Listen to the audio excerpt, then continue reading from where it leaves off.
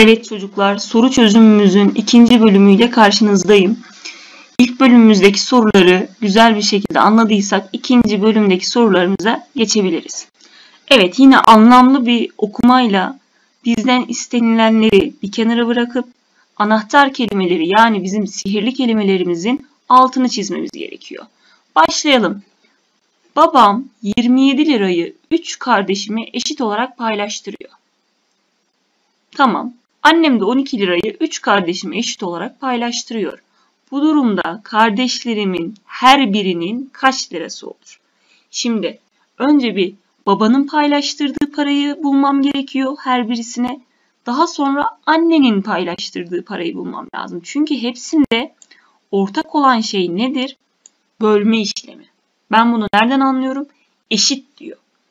Büyüğe daha fazla, ortancaya bir eksik, en küçüğe iki eksik tarzında size faz, farklı bir şey söylemiyor. O yüzden sizin burada yapacağınız şey yine bölme işlemidir. Şimdi babanın verdiği parayı bulalım. 27 liranın 27 lirayı 3 kardeşe eşit olarak paylaştırıyormuş. Tamam paylaştıralım hemen. 27'nin içinde kaçı arayacağız? Efendim? Evet öğretmenim 3 kardeş dediği için 3'ü arayacağız.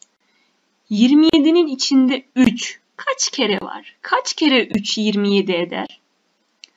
9 kere 3 27 eder öğretmenim. Evet çok doğrusunuz. O zaman babanın dağıttığı harçlıklardan her bir kardeşe düşen para ne kadarmış? 9 liraymış. Bir de annemize bakalım ne kadar vermiş. Anne de 12 lirayı 3 kardeşe paylaştırmış. 12 lirayı kaç kardeşe paylaştırıyor? Yine 3 kardeşe eşit olarak paylaştırıyor. O zaman 12'nin içinde kaçı ararız? 3'ü ararız. Eşit bir şekilde dağıtabilmek için bölme işlemimize başlıyoruz. 12'nin içinde 3 kaç kere var? 3 kere kaç 12 eder? 3 kere 4 12 eder. O zaman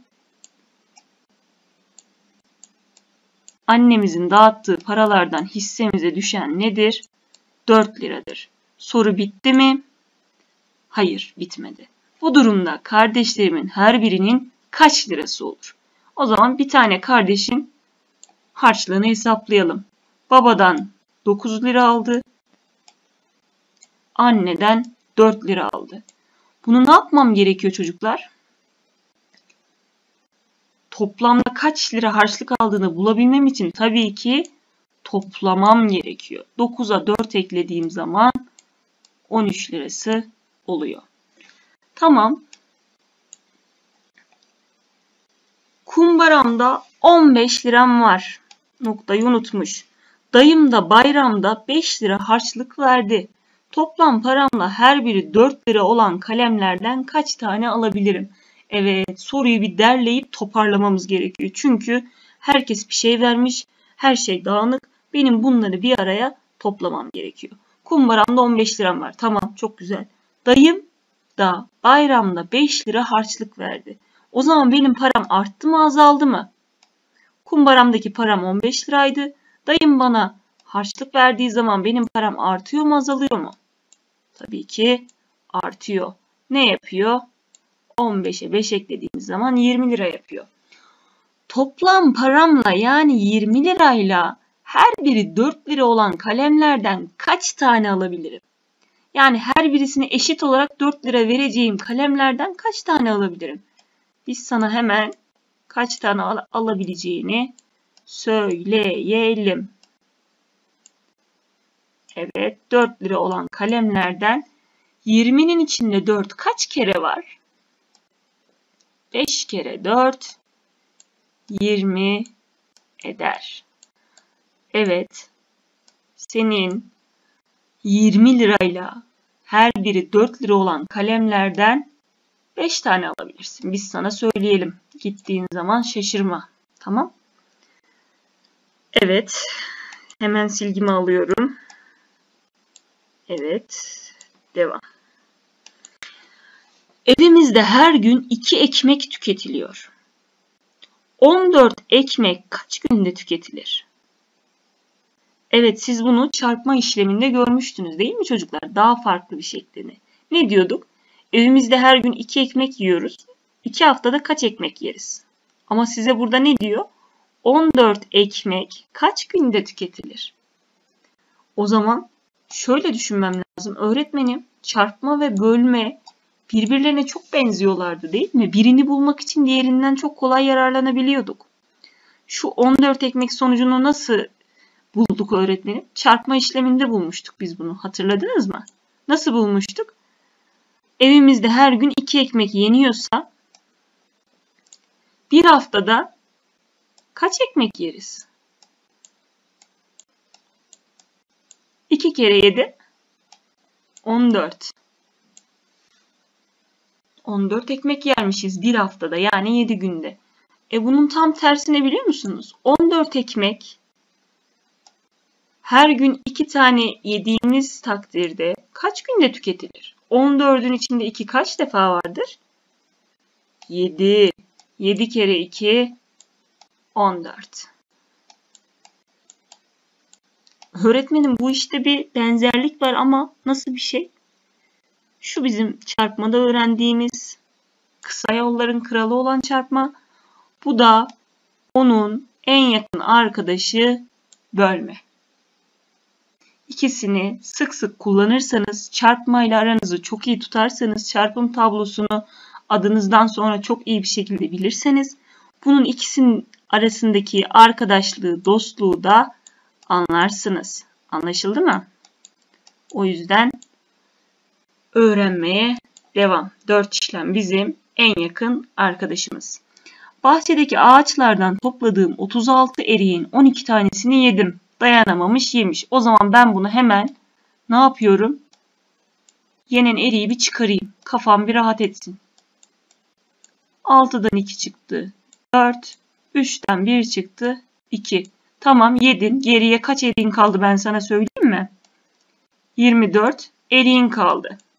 Geriye kalan erikleri 4 tabağa eşit olarak paylaştıracakmışım. Tamam. Hemen. Her tabakta kaç ceviz olur? Erik diye sormuş, ceviz diye devam etmiş. Çok ilginç, değil mi? Evet, eşit olarak paylaştıralım biz sana. 24'ün içinde 4 kaç kere var? Kaç kere 4 24 eder? 6. 6 kere 4 24. Bakın çarpmayı kullandım. Bölme işleminde hem çarpmayı kullanıyorum hem çıkarmayı kullanıyorum. Düşünün artık ne kadar yakın arkadaşlar bunlar. O zaman her tabakta kaç cevizim, kaç eriğim oluyormuş? 6 tane. Evet geçelim diğer sorumuza.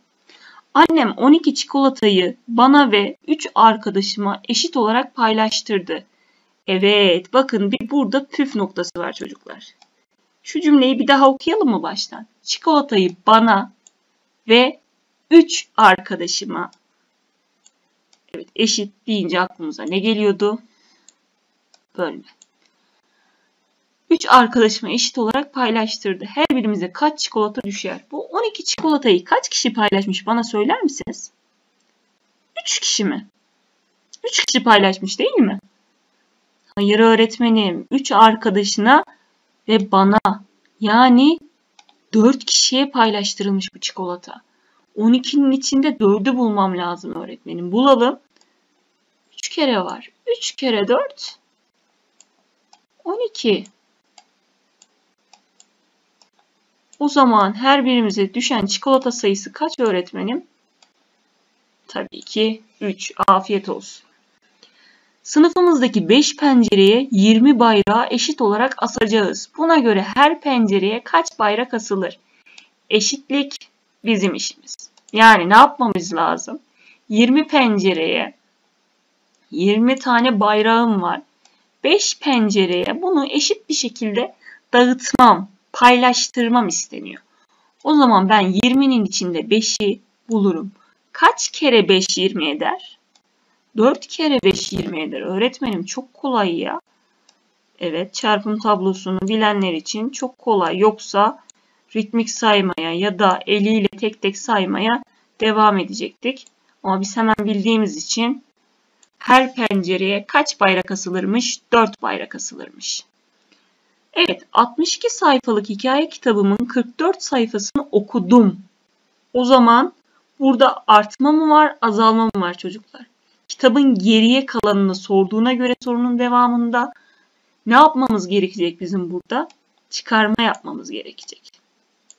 Değil mi? Tamam, okuyalım sorumuzu. Geriye kalan sayfaları her gün eşit şekilde olmak üzere 3 günde bitireceğim. Buna göre her gün kaç sayfa okumalıyım? Önce şu geriye kalan sayfayı bir bulmam lazım. 2'den 4 çıkar mıydı? Çıkmazdı. Burada bir komşumdan 10'luk alıyorum. 12'den 4 çıktı. 8. Burada ne kaldı? 5. 5'ten 4 çıktı. 1. 18 sayfam kalmış. Peki diyor ki sana adım adım gidiyorduk ya bakın şurayla işim bitti. Geriye kalan sayfaları da buldum. Eşit şekilde 3 günde okuyacakmışım. Çok 18'e benzemedi bu. Heh, şimdi benzedi değil mi? 18'i 18 sayfayı 3 günde bitirmem gerekiyormuş. Bakın her gün eşit okuyabilmek için 3 gün mühlet vermişler bana ve ben bu 3 günde kaç sayfa okuyacağım bulayım. 18'in içinde 3 kaç kere vardır? Kaç kere 3 18 eder? 6 kere 3 18 eder değil mi?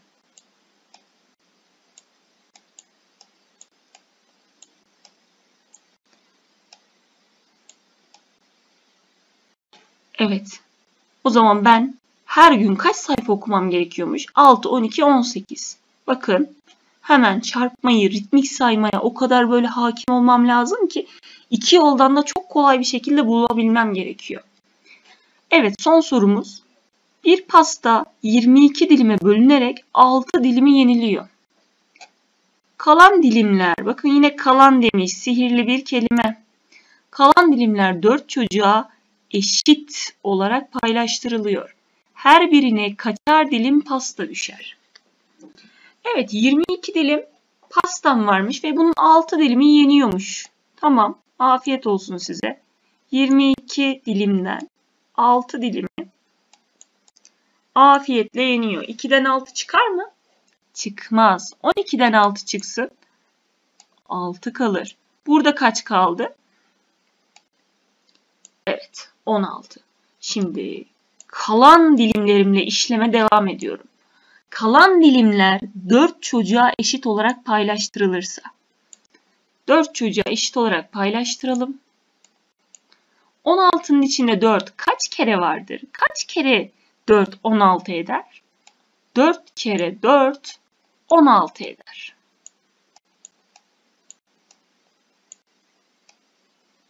O zaman her bir çocuğumuza, her bir her birisine kaç dilim pasta düşer? 4 dilim pasta düşer. Evet, bölme işlemiyle alakalı soru çözümümüz bitti çocuklar. Sizler de e, farklı kaynaklardan bu konuyla alakalı soruları çözüp geri dönüşleri bana yapabilirsiniz. Dikkatli okuduğunuz zaman bu konuyla alakalı bir soruyu yanlış yapacağınızı düşünmüyorum. Sizlere çok güveniyorum ve sizleri çok seviyorum. İyi dersler, kendinize iyi bakın. Görüşmek üzere.